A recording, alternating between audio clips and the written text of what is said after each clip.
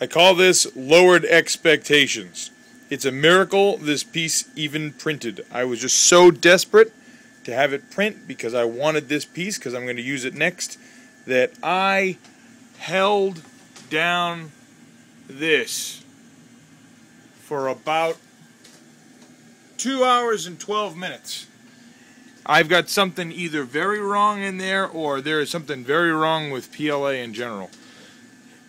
I'm not sure which. I haven't figured it out yet. Uh, maybe the wheel needs to be tighter or less tight. All I know is every once in a while it would lose. This is there is probably some horrible, horrible problems with this because every once in a while it would lose pulling and you could feel like it's supposed to be extruding. Both lights would be on, but you could feel that it wasn't going down and then I don't know if you could hear any of that if I just covered up the mic.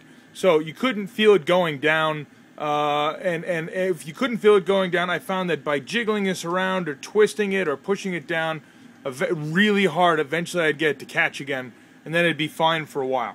So I'm convinced that it's that the motor is just not able to to grab the PLA, and whether that's that it's already wound down and ground down that that area, uh, you know, by making the little teeth marks uh, that it does. This is ABS, but you know, maybe it already ground down the teeth in that area and it can't get a good grip, or uh, or what. I'm using a, a, recompiled firmware I put on here that does not back up, so it doesn't back up the motor. So that's why there's lots of ooze.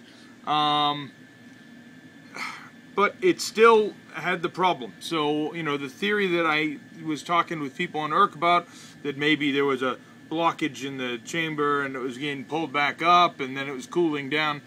Nope, that's not what's happening. Uh, I think it's all about grip from in there.